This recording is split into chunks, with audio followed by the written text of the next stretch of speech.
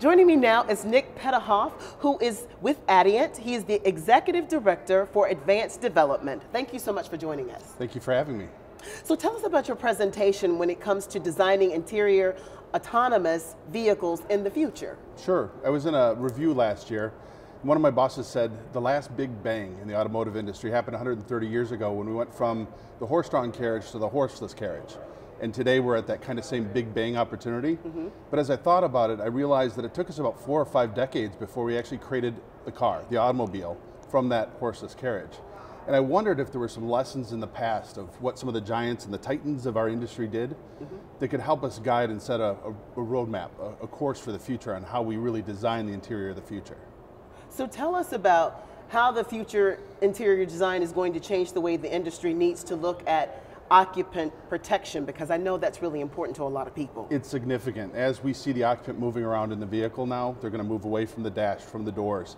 Airbags won't work as they do today. Mm -hmm. As we start to have people recline and get into lounging or sleeping positions, as they rotate in the vehicle, conventional restraints won't work in the same way.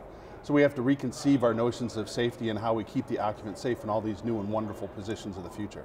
So when it comes to interior perspectives, what do you think will be closer to a future reality? Are we talking about the Blade Runner or are we talking about the Jetsons? Honestly, I think part of it is more like Herbie the Love Bug. Ah. Kind of a utilitarian uh, urban rideshare. Okay. Uh, something that's going to be very basic, but um, still have that kind of thought of its own. It's going to drive you and get you there safely. And the other maybe would be a James Bond vehicle. Oh, you know, I like luxury that kind of sleek. Yeah, sleek luxury appointments, uh, doing all sorts of cool things. You hit buttons, you don't know what's going to happen, but that excitement, and we can kind of be that Q, the guy behind the scenes, and develop that stuff. So let's talk about, since we're talking about excitement, what excites you when it comes to the automotive industry? Well, I think we are at that big bang. I think it's an appropriate uh, kind of analogy and we have the opportunity to be Q, you know, the guy who's designing and gals who are designing this great new future for our kids and our grandkids. And I think that's just a huge opportunity for us. Thank you so much for your time. I really appreciate it, Mr. Petouhoff. Thank you so much. All right. Cheers.